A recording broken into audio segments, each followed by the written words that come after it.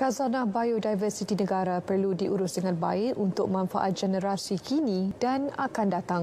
Menteri Tenaga dan Sumber Asli Datuk Dr. Syamsul Anwar Nasara berkata, hutan tropika juga perlu dipertahankan dan dipulihara sebagai satu frontier akhir jaminan kesejahteraan kehidupan manusia sejagat.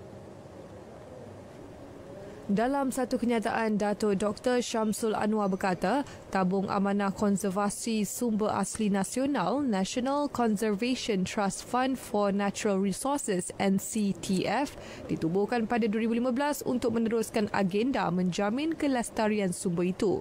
Tabung tersebut berfungsi untuk membiayai pelaksanaan aktiviti penyelidikan dan pembangunan, pengurusan dan pelindungan sumber. Ia juga dimanfaatkan untuk memberi kesedaran dan usaha-usaha konservasi. Semenjak ditubuhkan, kementerian telah meluluskan 41 kajian di mana 17 kajian telah selesai dilaksanakan. Pemohon boleh memohon pembiayaan dana sehingga jumlah maksimum iaitu 1 juta ringgit dengan tempoh projek antara 6 bulan hingga 2 tahun.